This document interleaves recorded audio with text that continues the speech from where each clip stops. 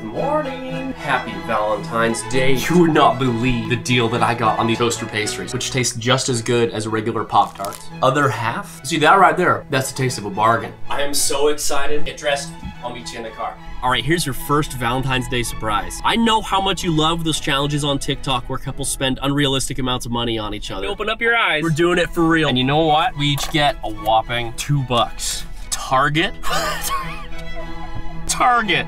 No, honey, we've already been on a vacation within the last year, all right? Usually, on the occasion that we do eat out, we just hit up the drive-thru at Mickey D's, right? Not today. Instead, we are going to eat inside at the McDonald's. All right, now can I have you confirm for me that this is in fact an even amount distributed between the two of us? You gotta shake on it.